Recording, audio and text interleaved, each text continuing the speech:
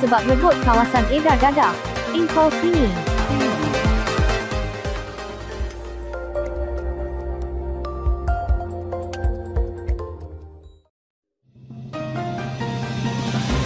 Perebutan kawasan antara sindiket pengedaran dadah menjadi punca seorang penternak lembu ditembak dan ditikam dalam kejadian di Bukit Selambau dekat sini.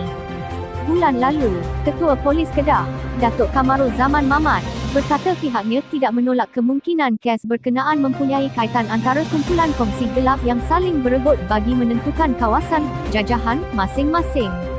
Bagaimanapun, katanya, siasatan polis terhadap tujuh suspek mendapati kejadian bunuh itu lebih menjurus kepada perebutan kawasan mengedar dada antara dua kumpulan kongsi gelap.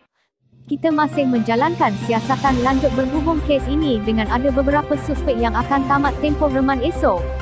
Kita akan bincang bersama pihak pendakwa raya dan tunggu arahan selanjutnya, katanya pada sidang media di Ibu Pejabat Polis Daerah IPD, Kuala Muda di sini.